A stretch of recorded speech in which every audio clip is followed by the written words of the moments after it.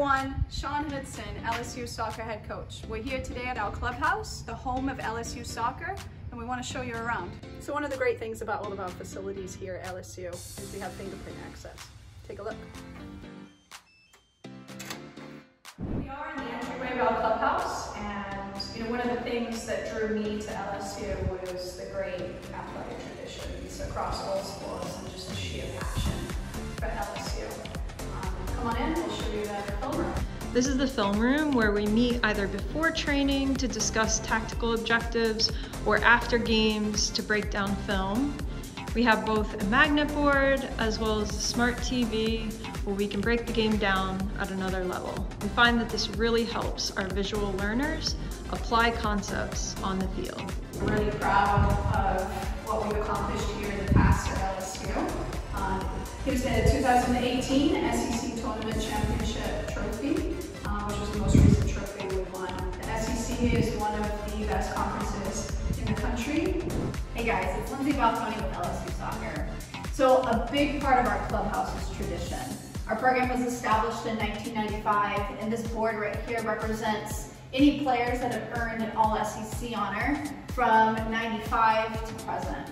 And if you come over here, these are our LSU soccer players um, that have won All-American awards. Hey, this is Seb Furness, Assistant Women's Soccer Coach at LSU. Welcome to our locker room. Players spend a lot of time in here, pre-game hype-ups, post-game celebrations, before practice, after practice, just hanging out, having a good time. We say that after being on the pitch, on the grass, this is the second best place to be. Here's an example of some locker space, nameplate, number, name, where you're from, place to store your cleats, personal valuable space, hangers to store equipment, training gear, uh, laundry loops. Players will be issued four laundry loops, three for training, one for weights at the end of each session. Equipment will be put on here, given to the managers, washed and returned the next day.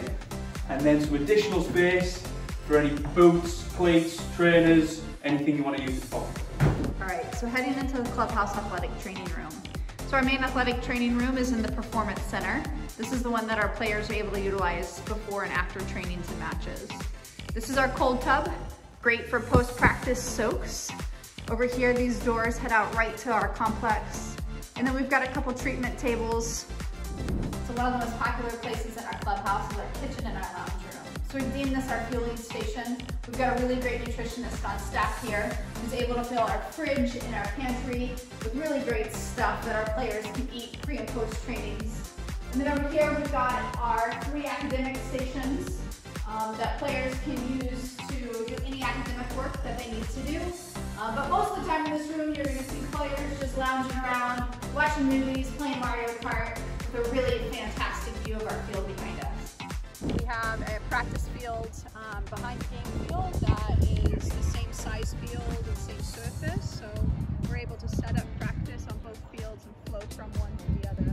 We've got a stadium here which has the capacity for about 2,200 fans, and we plan on packing those stands for every game. But it's just a beautiful, beautiful place to play soccer.